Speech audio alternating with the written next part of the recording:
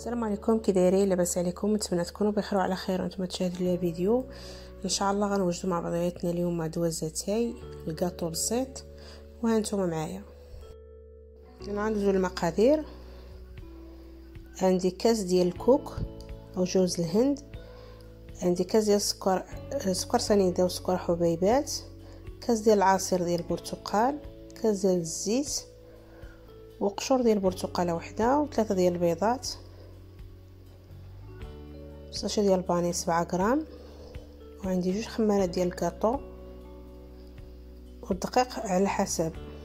يعني عندي ستة كيسان ديال الفرينه غادي نشوف شحال غتهز ليا. قابصة ملح.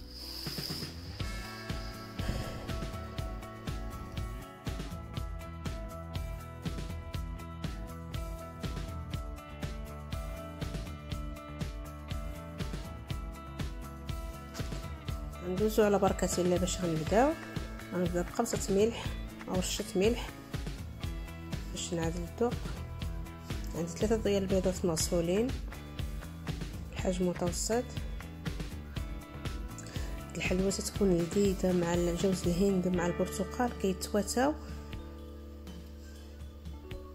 أنا كنضيف كاس سكر سنيده كنضيف سكر باني وكنخلط تجمع البيض مع السكر.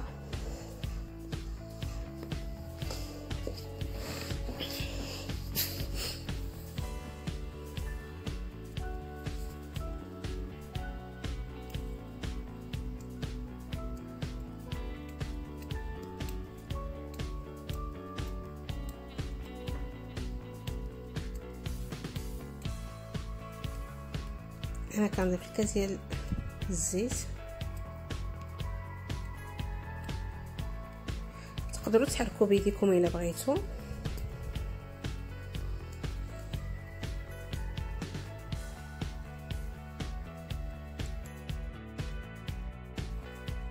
أنا كنضيف كاس ديال العصير ديال البرتقال. الله على ريحة طلعات ضفت داك الكاس ديال العصير طلعت واحد الريحة ما نقول لكمش أنا كنضيف الكاس ديال ديال الكوك ولا جوز الهند. قشور ديال البرتقاله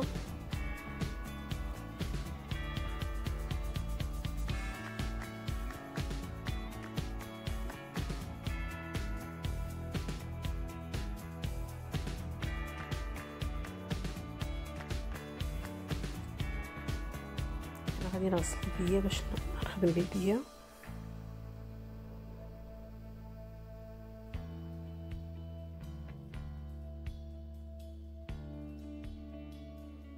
أنا كنضيف الدقيق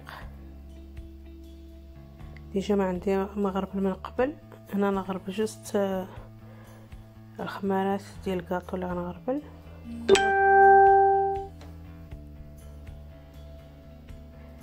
هنا عندي سبعة الكيسان ديال الفرينة مي ديما فرينة كتبقى على حسب النوعية. كاين اللي كتشرب عينكم ميزانكم ضيفوا شوية بشوية باش ما تجيكمش قاصحة.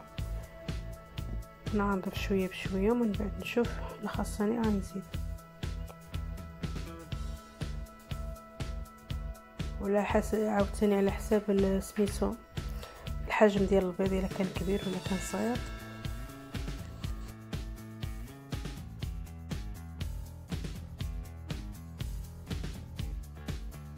كنبدا نعجن ونبقى نضيف الفرينه كنجمع العجينة ديالي.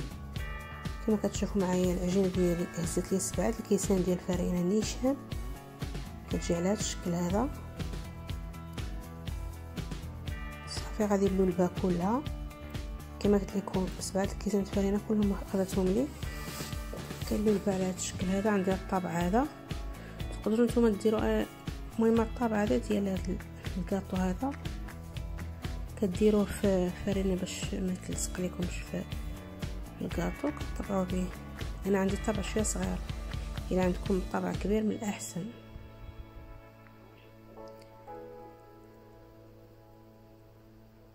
هنايا كان كنحطها من بعد ما كنلولبها كنديرها في sucre glace آه pardon في جوز الهند وشوية ديال السكر سنيدة.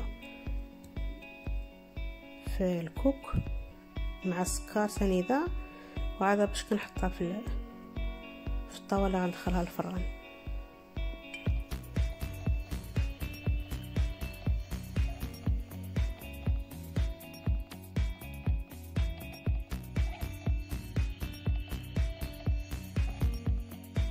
طبعا دينا نديرو الفرينة باش ما نلصقلياش وغنمشي على هذا الشكل تنسالي كلشي إن شاء الله. هنايا ساليت الطاوه ديالها غندخلها الفران من بعد إن شاء الله ما نجبدها ونتلاقاو voilà هذه هي الكاطو اللي وجدنا مع بعضياتنا نتمنى يعجبكم تهلاو في رزقكم